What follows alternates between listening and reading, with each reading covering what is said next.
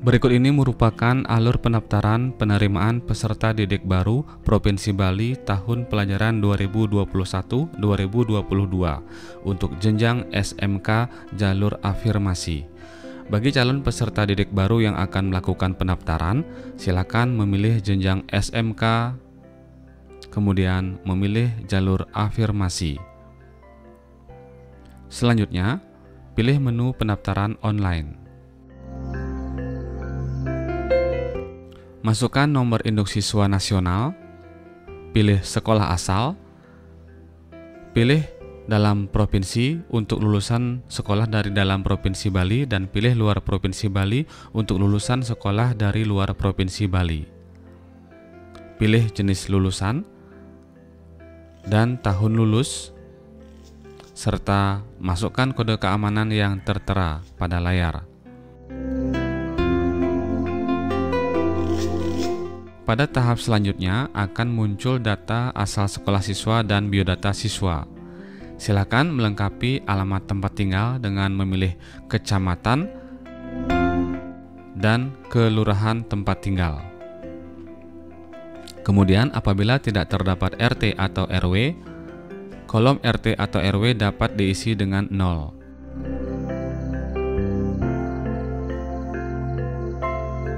Lengkapi juga data tambahan berupa nomor ponsel orang tua atau wali siswa.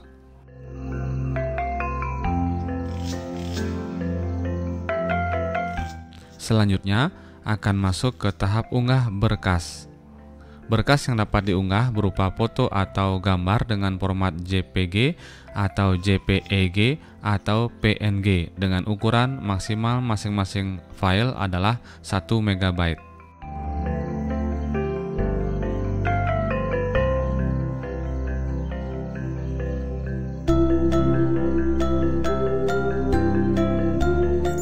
Untuk jalur afirmasi, dokumen yang wajib diunggah adalah foto kartu keluarga atau surat keterangan domisili asli, foto akte kelahiran atau surat keterangan lahir asli, foto ijazah atau surat keterangan lulus asli, foto KKS, KPS, KKH, KIP atau BPJS KIS, bukti penerima bantuan keluarga kurang mampu asli, foto surat pernyataan orang tua atau wali murid bermaterai 10.000 asli, serta bagi peserta yang memilih sekolah dengan keahlian farmasi atau kelompok teknologi wajib mengunggah foto surat keterangan dokter yang menyatakan tidak buta warna asli.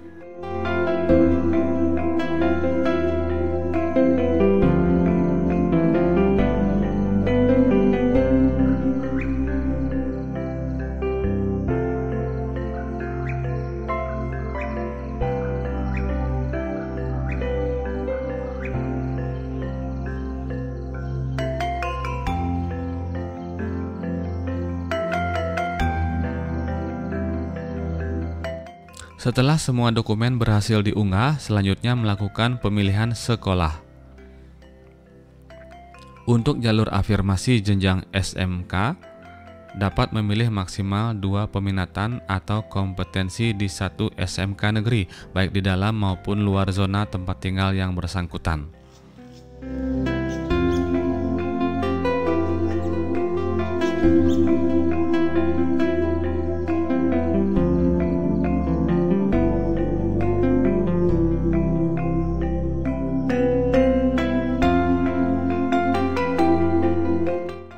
Kemudian, selanjutnya melakukan review kembali pilihan sekolah dan data yang telah diunggah sebelumnya. Apabila sudah yakin, maka dapat mengklik setuju pada pernyataan yang tertera, yaitu saya dengan ini sungguh-sungguh menyatakan bahwa semua dokumen yang diunggah sebagai persyaratan penerimaan peserta didik baru SMK atau SMA Negeri Provinsi Bali tahun pelajaran 2021-2022 adalah sesuai dengan dokumen aslinya. Apabila di kemudian hari diketahui pernyataan ini tidak benar dan terbukti memalsukan dokumen, maka saya bertanggung jawab dan bersedia diproses secara hukum sesuai dengan ketentuan perundang-undangan yang berlaku. Dan peserta didik baru yang diterima pada PPDB Provinsi Bali tahun 2021 dicabut haknya sebagai peserta didik.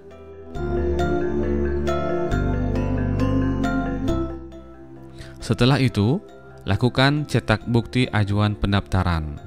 Bukti ajuan pendaftaran dapat dicetak secara langsung ataupun dapat disimpan terlebih dahulu sebagai file PDF.